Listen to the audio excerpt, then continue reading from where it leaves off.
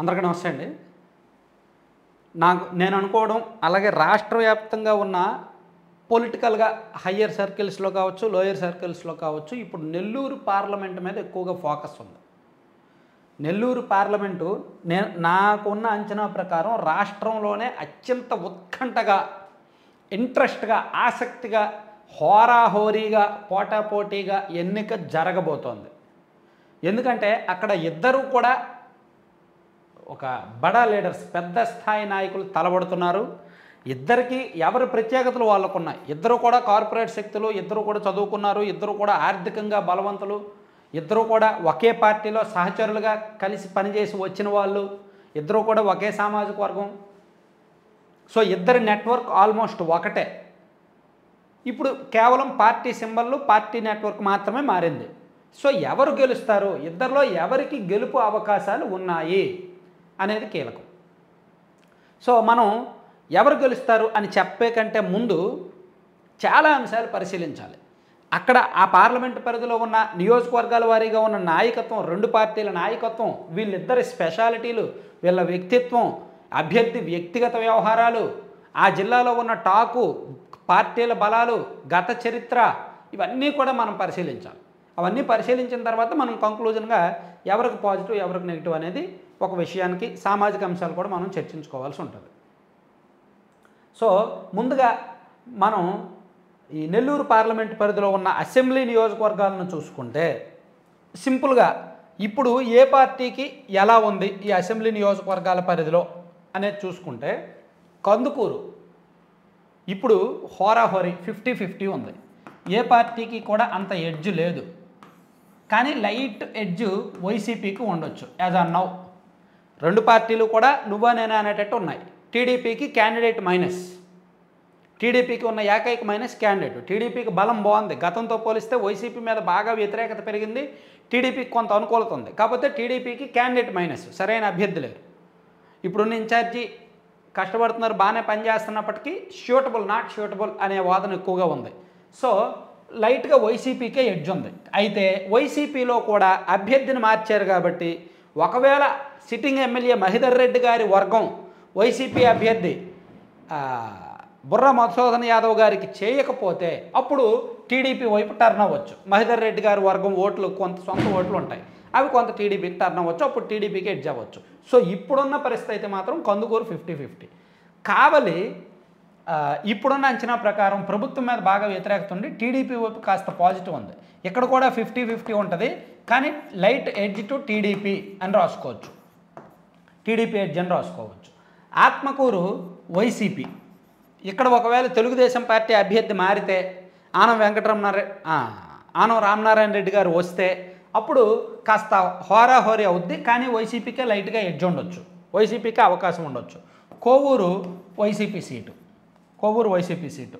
కోవూరు ఒకవేళ టీడీపీ అభ్యర్థిని మార్చినా పోలవరెడ్డి దినేష్ గారు అయితే సూటబుల్ కాదు సెట్ అవ్వరు. సో అభ్యర్థిని ఒకవేళ మారిస్తే ఏమైనా చూడాలి. Nellore city TDP seat. Nellore rural fifty fifty హోరాహోరీగా ఉంది. కానీ light edge to TDP Kotamreddy Sridhar Reddy గారి వైపు లైట్ ఎడ్జ్ ఉంది. కానీ హోరాహోరీ అంత ఈజీ అయితే కాదు. ఇక ఉదయగిరి టీడీపీ సీటు. ఖచ్చితంగా TDP seat. So Nellore parliament పరిధిలో మనం చూసుకుంటే ఖచ్చితంగా టీడీపీ సీట్లు రెండు ఉన్నాయి ఖచ్చితంగా వైసీపీ సీట్లు రెండు ఉన్నాయి చూడండి ఖచ్చితంగా టీడీపీకి వస్తాయనుకునే నెల్లూరు సిటీ ఉదయగిరి రెండు ఉన్నాయి ఖచ్చితంగా వైసీపీకి వస్తాయనుకునే ఆత్మకూరు కోవూరు ఉన్నాయి. కావలి కందుకూరు ఉద నెల్లూరు రూరల్ హోరాహోరీగా ఉన్నాయి. కొన్ని టీడీపీకి ఎడ్జు ఒకటి వైసీపీకి ఎడ్జు ఉన్నాయి. సో ఇది ఆ పార్లమెంట్ పరిధిలో అసెంబ్లీ నియోజకవర్గాల గురించి. సో ఇప్పుడు మనం ఇతర అంశాలను కూడా చూద్దాం. అసలు ఈ గెలుపును ప్రభావితం చేసే ఇతర అంశాల గురించి కూడా ఇప్పుడు మనం మాట్లాడదాం. ముందుగా అభ్యర్థి గురించి మనం మాట్లాడుకోవాలంటే టీడీపీ అభ్యర్థి గారు వేమిరెడ్డి ప్రభాకర్ రెడ్డి గారు వైసీపీ అభ్యర్థి విజయసాయి రెడ్డి గారు. సో వీళ్ళిద్దరిలో వ్యక్తిత్వం గురించి ఫస్ట్ నేను మాట్లాడతా. వ్యక్తిత్వం పరంగా చూసుకుంటే వేమిరెడ్డి గారే బెటర్. విజయసాయి రెడ్డి గారు వివాదాస్పదం. ఆల్రెడీ ఆయన మీద అనేక కేసులు ఉన్నాయి. వివా వివాదమైన అతని పొలిటికల్ హిస్టరీ అంతా అనేక కాంట్రవర్సీస్ ఉన్నాయి. ప్లస్ ఆయన వ్యవహారాలు కానీ గతంలో ఉన్న కేసులు ఆయన మాట తీరు ఆయన సోషల్ మీడియా ట్వీట్లు బాగా వ్యతిరేకత ముట్టగొట్టుకోవడం ఇవన్నీ కొన్ని అపవాదులు అపఖ్యాతులు ఆయనకు బోల్డ్ ఉన్నాయి. కరప్షన్ చేశారనే ఆల్రెడీ సిబిఐ కేసులు ఉండవు ఆయనకు బాగా మైనస్ సో వేమిరెడ్డి గారికి అటువంటి ఏమీ లేవు. ప్లస్ వేమిరెడ్డి గారు ఆల్రెడీ నెల్లూరు జిల్లాలో నెల్లూరు పార్లమెంట్ పరిధిలో కొంత సర్వీస్ చేస్తున్నారు. విజయసాయిరెడ్డి గారు అటువంటి ఏమీ చేయలే. విజయసాయిరెడ్డి గారు నెల్లూరు జిల్లాలో సొంత జిల్లాకు పలాంది చేశారు అని చెప్పుకోవడానికి అయితే ప్రస్తుతానికి ఏమీ లేదు.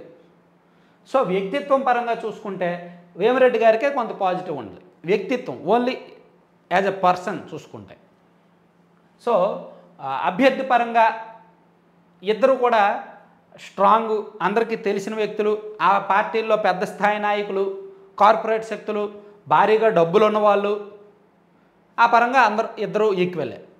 సో అభ్యర్థి విషయంలో అది. అభ్యర్థి విషయంలో అయితే వేమిరెడ్డి గారే కొంత ఎంతో కొంత బెటర్ ఇక నాయకత్వం. రెండు పార్టీలకు ఉన్న నాయకత్వం.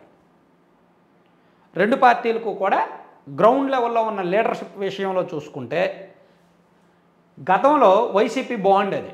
ఎందుకంటే నెల్లూరు జిల్లా నెల్లూరు పార్లమెంట్ వచ్చేసరికి వైఎస్ఆర్ కాంగ్రెస్ పార్టీకి బలమైన నాయకులు ఉండేవాళ్ళు. ఒకవైపు చూస్తే ఆయన కోటంరెడ్డి శ్రీధర్ రెడ్డి గారు మరోవైపు ఈయన బీసీ నాయకుడు ఈయన ఎవరు? అనిల్ కుమార్ యాదవ్ గారు ఆనం రామనారాయణ రెడ్డి గారు. ఇలా చాలామంది నాయకులు ఉన్నారు. నల్లపరెడ్డి శ్రీనివాసరెడ్డి గారు ఇలా నల్లపరెడ్డి ప్రసన్న కుమార్ రెడ్డి గారు ఇలా చాలామంది నాయకులు ఉన్నారు నెల్లూరు జిల్లాలో నెల్లూరు పార్లమెంటు పరిధిలో. నాయకత్వం వైసీపీకి గతంలో స్ట్రాంగ్ ఉండేది. కానీ ఇప్పుడు ఇప్పుడు వైసీపీకి ఉన్న ఏకైక నాయకత్వం మేకపాటి ఫ్యామిలీ. మేకపాటి ఫ్యామిలీలో కూడా కొన్ని విభేదాలు రావడం వల్ల చంద్రశేఖర్ రెడ్డి గారు టీడీపీలోకి వచ్చేసారు రాజమోహన్ రెడ్డి గారు సైలెంట్ అయిపోయారు విక్రమరెడ్డి గారు కూడా సైలెంట్గా తన పందెం చేసుకుంటున్నారు. రాజమోహన్ రెడ్డి గారు పెద్దగా కల్పించుకోవట్లా ఇన్వాల్వ్ అవ్వట్లా అంత సీరియస్గా తీసుకోవట్లా. సో నాయకత్వం విషయంలో ఉన్న కొంతమంది నాయకులు టీడీపీలోకి వచ్చారు ఒక నాయకుడినేమో మూడు జిల్లాల అవతలకి వెళ్ళిపోయారు. ఇంకో నాయకుడు సీనియర్ నాయకుడేమో సైలెంట్ అయిపోయాడు. ఆదాల ప్రభాకర్ రెడ్డి గారు అండ్ నల్లపరెడ్డి ప్రసన్న కుమార్ రెడ్డి గారు అండ్ కొంతమంది నాయకులు ఉన్నప్పటికీ వాళ్ళు ఎంత మేరకు పార్టీకి డెడికేటెడ్గా పనిచేస్తారు అనేది డౌట్. సో నాయకత్వం విషయంలో గతంలో వైసీపీ బాగుండేది ఇప్పుడు వైసీపీ బాగాలేదు టీడీపీ బాగుంది. లీడర్షిప్ విషయంలో. ఎందుకంటే టీడీపీలో ఇప్పుడు స్ట్రాంగ్ లీడర్స్ కాన్ఫిడెంట్గా ఉన్నారు. అభ్యర్థుల ఎంపికలో కూడా కోటమిరెడ్డి శ్రీధర్ రెడ్డి గారు రూరల్ అలాగే నెల్లూరు సిటీ ఏమో నారాయణ గారు ఉదయగిరి ఏమో కాకర్ల సురేష్ గారు ఇలా అభ్యర్థి ఎంపికలో కూడా కొంత పాజిటివ్ కనిపిస్తోంది.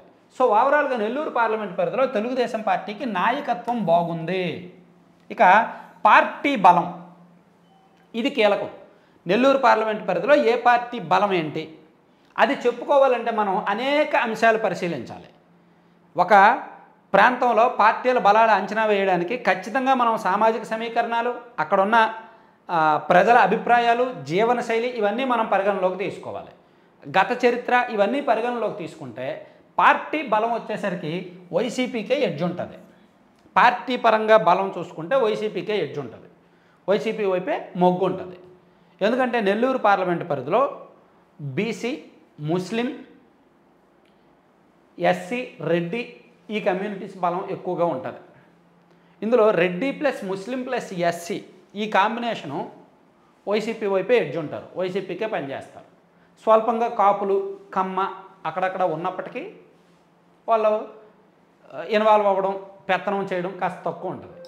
సో నాయకత్వం విషయంలో తెలుగుదేశం పార్టీ గతంలో వీక్ ఉండి ఇప్పుడు ఇంప్రూవ్ అయితే అయ్యింది కానీ పార్టీ సంస్థాగత బలం పెంచుకోవడంలో ఓటర్లను తమ పార్టీ వైపు తిప్పుకోవడంలో ఎంత మేరకు సక్సెస్ అయింది అనేది ఇప్పటికైతే మనం అంచనా వేయలేం.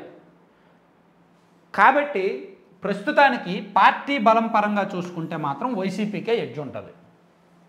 ఇక గత చరిత్ర చూసుకున్న వైసీపీకే ఎడ్జ్ ఉంటుంది. తెలుగుదే నెల్లూరు పార్లమెంటు పరిధిలో టీడీపీ ఒకే ఒక్కసారి గెలిచింది. పంతొమ్మిది వందల తొంభై తొమ్మిదిలో మాత్రమే గెలిచింది. రెండు వేల పంతొమ్మిది ఎన్నికల్లో ఒక లక్ష నలభై ఎనిమిది వేల ఓట్లు తేడాతో టీడీపీ ఓడిపోయింది ఆ సీటు. రెండు వేల పద్నాలుగు ఎన్నికల్లో పదమూడు వేల ఓట్లు తేడాతో టీడీపీ ఓడిపోయింది. రెండు వేల తొమ్మిదిలో టీడీపీ ఓడిపోయింది రెండు వేల నాలుగులో టీడీపీ ఓడిపోయింది తొంభై తొమ్మిదిలో మాత్రమే గెలిచారు. అంతకుముందు తొంభై ఎనిమిది తొంభై ఆరు తొంభై ఒకటి అవన్నీ వరుసగా ఓడిపోయింది టీడీపీ. తెలుగుదేశం పార్టీ ఆవిర్భావం తర్వాత జరిగిన ఇన్ని ఎన్నికల్లో టీడీపీ ఒకే ఒక్కసారి గెలిచింది. అందుకే అక్కడ గత చరిత్ర చూసుకున్నా సరే వైసీపీకే ఎడ్జ్ ఉంటుంది. సో పార్టీ బలం చూసుకున్నా గచ్చరిత చూసుకున్నా వైసీపీకి ఉంటుంది. ఇక సామాజిక అంశాలు కూడా ఎంతో కొంత వైసీపీకి కలిసి వచ్చే ఉన్నాయి. సో ఓన్లీ నాయకత్వం బాగుంది. వ్యక్తిగతంగా మంచి సరైన అభ్యర్థి అనే పేరుంది. నాయకత్వం గతంతో పోలిస్తే బాగా ఇంప్రూవ్ అయింది. సో ఈ నాయకులు నెల్లూరు పార్లమెంటు పరిధిలో ఉన్న దాదాపుగా పంతొమ్మిది వందల ఎన్నో పోలింగ్ బూతులు ఉన్నాయి. ఆ బూతుల్లో ఎంత మేరకు సంస్థాగత బలాన్ని చాటుకోగలరు అనే దాని మీద ఈ ఎన్నిక ఆధారపడి ఉంటుంది సో మొత్తానికి ఇప్పుడు ఉన్న యాజ్ అన్నో ఇప్పుడున్న పరిస్థితి అయితే మాత్రం నేను చెప్తున్నాను కదా ఖచ్చితంగా హోరాహోరీగా ఉంటుంది.